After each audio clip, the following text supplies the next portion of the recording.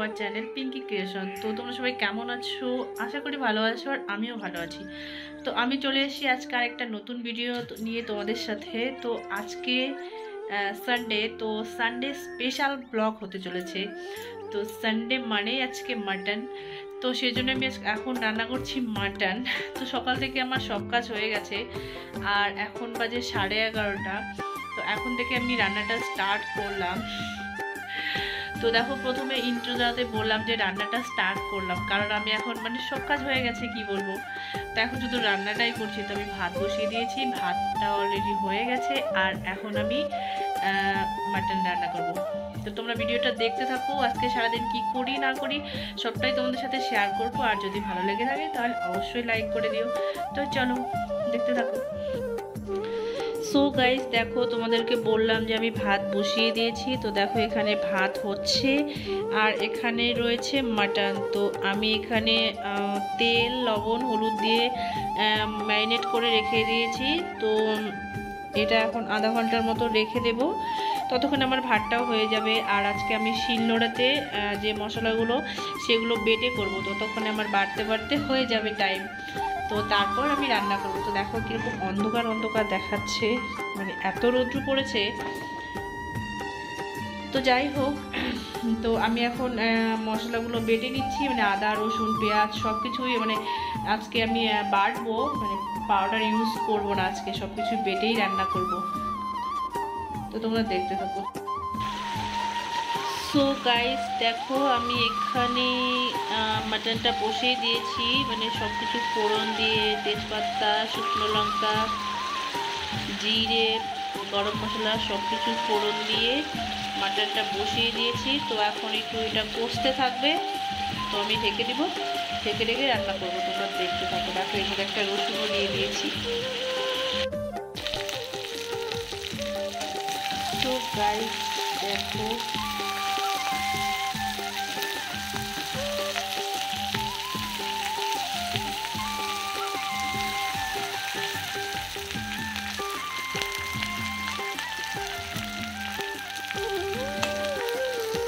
কষানোর জন্য ঝোল দিয়ে দিয়েছি।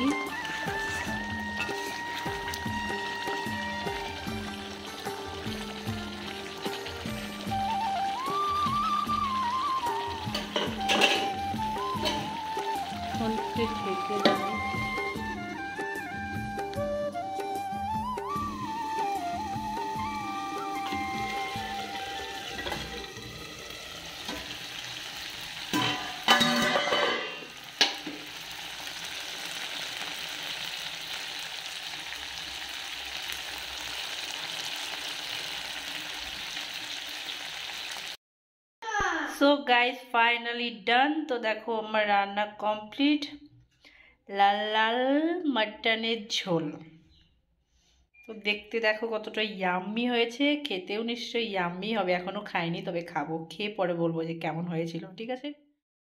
সো গাইজ দেখো, আমি খাওয়া দাওয়া করে ঘুমিয়ে পড়েছিলাম। তো এখানে আমি আসব মনেই ছিল না। তো সেই জন্য আর বাড়ি থেকে ইন্ট্রোটা দিতে পারিনি। তো আমি চলে এসেছি এখন ছট পূজা দেখতে।